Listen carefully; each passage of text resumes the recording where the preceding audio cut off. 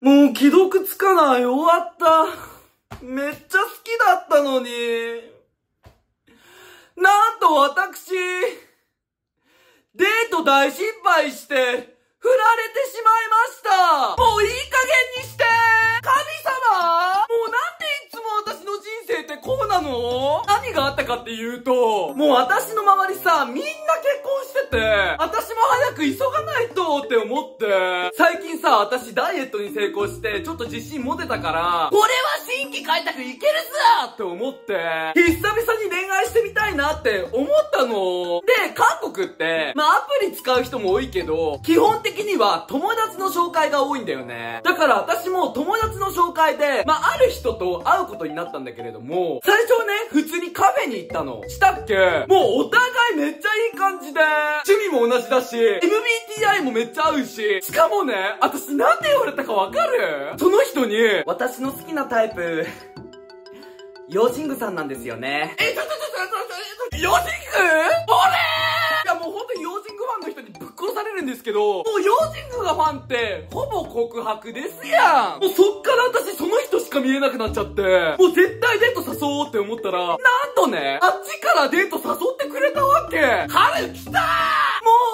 年に入って悪いことしか起きてなかったけど、やっといいことが起きるっていう感じで、デート行くことが決まったの。で、当日、デート先に向かったんですけれども、今日ちょっと私がデートでやらかした5つのことを公表しちゃって大丈夫そうですか？オッケー、マミーちょっとアイシャドウ塗る前に一回聞いて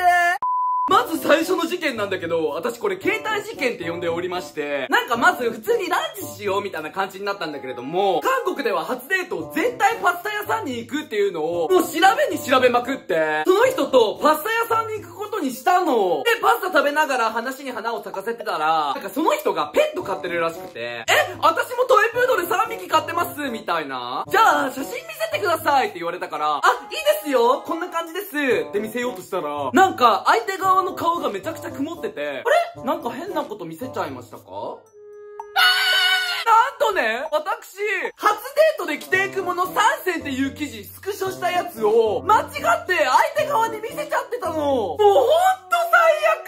悪。その記事にシンプルな白シャツが最適って書いてあって、私その時白シャツ着ててさ、もう気合入れてんのバレバレやないかい。うわ、スタートダッシュしったマジでやばい。俺家帰りてえわ。ってなってたんだけれども、ここで私落ち込んでたら、スタート切れないよね。よし、切り替えて頑張ろうっていう感じで。で、相手側がマスカットソルビンみたいなやつを食べたいって言うから、え、じゃあそれ食べようって言って一緒にマスカットソルビンを食べることになったんだけれども、ここで第二の事件、マスカット事件が繰り広げられます。もう数あるマスカットの中から、私、種のあるマスカットを選んでしまって、食べてしまったわけですわな。やばいやばいやばい、種入ってるぞ、俺口の中に種入ったぞ。って思って取り外したかったんだけれども、今めっちゃ会話中にこうやってティッシュでくるんで喋るのってちょっとなんか失礼じゃん？とりあえず、そのマスカットの種を口の中に入れて頑張って喋ってたわけ。でもさ、やっぱり喋る時にもごもごしちゃうから、もう口の中で色々研究した結果、このベロの下にマスカットの種を入れると、自然に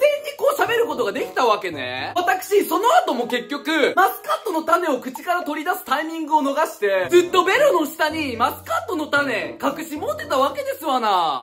で、まあ普通に楽しくデート進んでたんだけれども、なんか相手側がドライブすることがすごい趣味らしくて、で、韓国って普通にレンタカーの文化めちゃくちゃすごいから、暇になったらよくレンタカー借りてドライブすること結構あるんだよね。で、じゃあドライブ行きますみたいな話になって、で、まあ普通にこうやって音楽聴きながらドライブしてたら、ここで第3の事件が起きました目の前で煽り運転があって、もう相手側が、え、なんかすごい、えー、煽り運転いねんけど、どうしようみたいなことを言ってたんだけど、私ね、実は大阪で5年ほど住んでおりまして、大阪の血が騒ぎ出し始めまして、何煽ってんねんこら教習所からやり直せって口癖のように言ってしまったわけ。もうお相手ドン引き。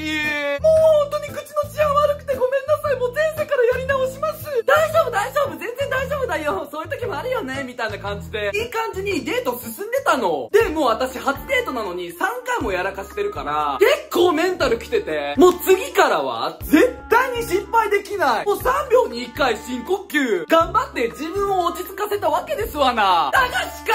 し神様はこんなところでは終わらせませんよ、皆様。ここで、第4の事件。こうドライブしながら楽しく話してたら、もうほんとタイミング悪い時に私、史上最高に大きいハクションが出てしまったのね。でもさ、まあハクションくらいだったら可愛いやん。でも皆さん、忘れてませんよね。私、口の中に大きな爆弾が入ってます。そうマスカットの種。なんと私、ハクションした瞬間、口の中に生えてるマスカットの種、思いっきり外に出てしまっちゃったわけ。もうカエル化する瞬間第1位ですよ。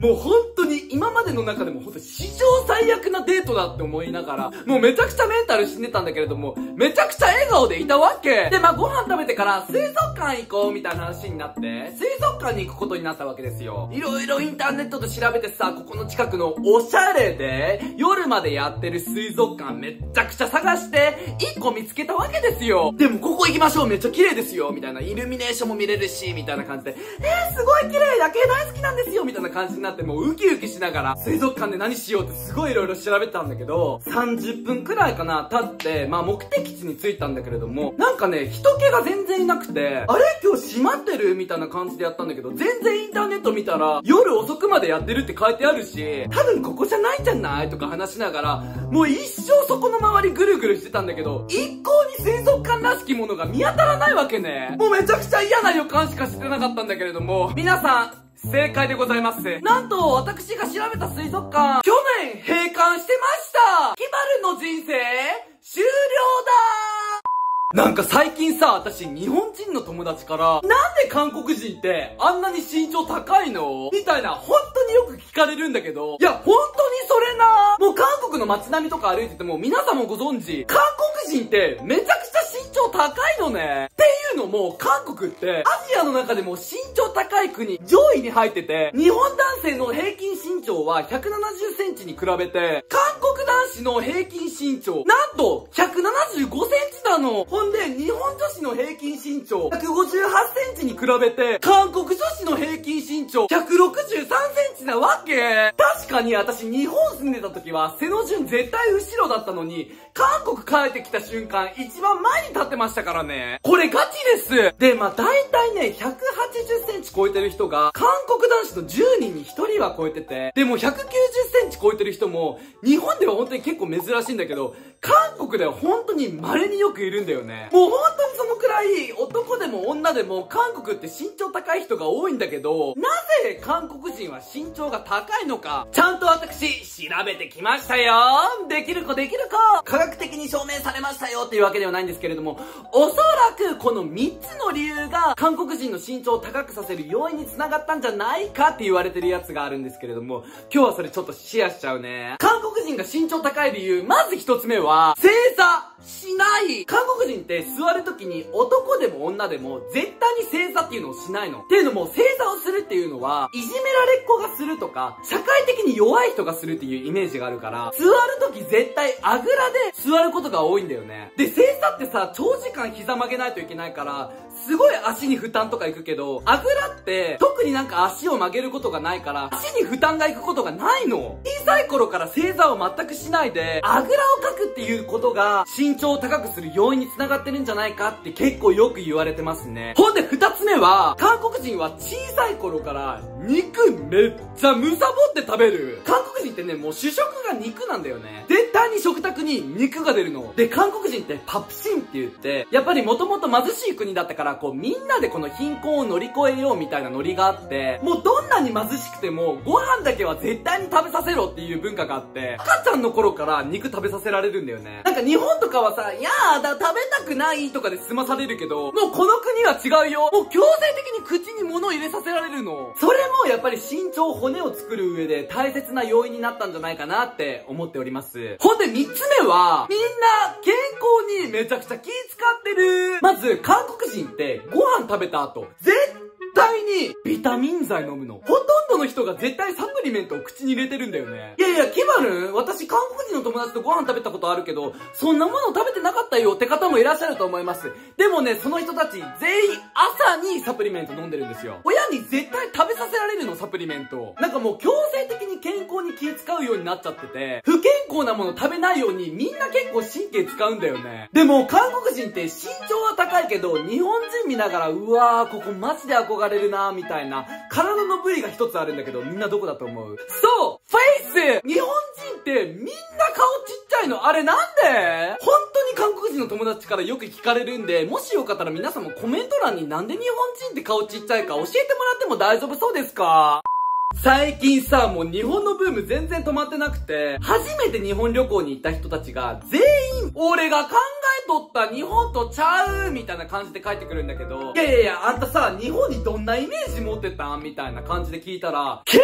構みんな共通して、面白い日本への偏見と言いますか、先入観というか、イメージを持ってる人がいらっしゃるんだよね。もうこれはみんなに共有しないとあかんって思って、今日ちょっとまとめてきたからみんなに共有しちゃっても大丈夫そう国人が持ってる変な日本人へのイメージ、まず一つ目は、日本人ってまだホストみたいな髪型してる人多いの？いや、するわけないやろでも日本行ったことない人、みんなこの偏見持ってんの。日本の平成初期のファッションのイメージがあまりにも強すぎて、こう、ホストみたいにワックスでめちゃくちゃ固めた髪型をして、めちゃくちゃ派手なシャツに腰パンみたいな、そういうファッションを今でも続けてるんだって思ってる人が案外結構いるの。でも、いざ日本旅行に行ったら、日本人みんなおしゃれで、髪型も BTS みたいな、え、なにこれ？イケメン多すぎなんだけど、ちょっと日本旅行延長しますね。みたいな感じに絶対になるの。ほんで二つ目は、日本人って、K-POP 聞かないっしょいや、聞くだろうっていうのも、日本で K-POP とか韓流が人気っていうのを、韓国のマスメディアは全然報道しないから、韓国人の方まで届いてないわけ。だから、ほとんどの韓国人が日本現地に行って、やっと、渋谷の109に大きいルセラフィムの看板とか見たり、IVE の PV が流れてるのを見て、K-POP ってこんなに日本で愛されてるの？みたいなのを初めてその時に知るわけ。ほんで三つ目！日本の一番の暴言って、バカ野郎でしょ？なわけねえだろ！韓国人って日本のアニメを通して日本語を勉強してるから、本当に9割みんなそうやって思ってんの。でも皆さん、日本で一番の暴言は、そう、死ね？これが一番きつい言葉ですって言ったら、は？ぁなわけねえだろ。韓国で死ねは日常用語だ。みたいな。ほんで四つ目。日本人って漢字全部できて当たり前でしょ？なわけねえだろ。日本人の5人に1人はキリンって漢字で書けねえよ。俺もそうだ。もうね、これ韓国人が持ってる変な日本人への偏見第1位です。俺、まだ漢字ドリルやってんだ。なんで5つ目。日本人って日本酒しか飲まないんでしょ？なわけねえだろ韓国人って韓国の焼酎、チャミスルを飲むことが多いから、このノリで日本人も日本の焼酎、日本酒を飲むことが多いんだろうなって思ってる人がほとんどなの。でも実際箱を開いてみたら、日本人、韓国人よりお酒飲む種類めちゃくちゃ多いんですわな。それ知らないで日本旅行行った時に居酒屋とか行くんだけど、飲み物のメニュー、えげつないほどめちゃくちゃメニューがあって、え、しゅ何梅酒サワーって、え、てか、ファジーネーブルなんで居酒屋に置いてある？カルアミルクって何？みたいな。ほとんどの人が日本酒飲んでるって思い込んでるから、韓国ドラマとか見てても、日本人がお酒飲むシーン絶対に日本酒が映ってるわけ。ほんで最後、これ本当にみんな言ってました。日本人って、韓国人みんな嫌いでしょ？間違ってますもう韓国人のほとんどが反日の教育を受けてるから、ほとんどの日本人が韓国嫌いなんじゃないかなって思ってる人が多いんだよね。でも実際に日本旅行行って、道とかわからないから日本人に聞いたら、みんな親身に教えてくれて、もう難しい韓国語で一生懸命教えてくれようとしたり、韓国好きって言ってくれたり、韓国人は日本の方が韓国好きっていうこの事実を知らない人、本当に多いの。もっとね、みんなも韓国好きですよってその愛を韓国人に伝えたら、もうみんな嬉しいから日本と韓国もっと仲良くなれるように私も活動頑張っていくからみんなも一緒に頑張っていこうね。ことで今日も見てくださって本当にありがとうございましたデートは大失敗したし、私占いで結婚絶対にできないとか言われてるけど、絶対に春が来るように私自身頑張っていきたいと思いますので、キバルその死んだ魚みたいな顔で頑張りやーっていう方はですね、チャンネル登録と高評価この2つよろしくお願いいたします。あと、いつもコメントありがとうございます。全部見るからコメントよろみあと僕、インスタグラムと X やっております。こちらの方でも韓国情報をお届けしておりますので、どちらか二つ適当に、チェックレということで、失敗だらけの私の人生ですが、必ず幸せが訪れるように私の方から幸をお届けさせていただきたいと思います。いきますよ。せーの。朝ちやれ。今週も皆様お疲れ様。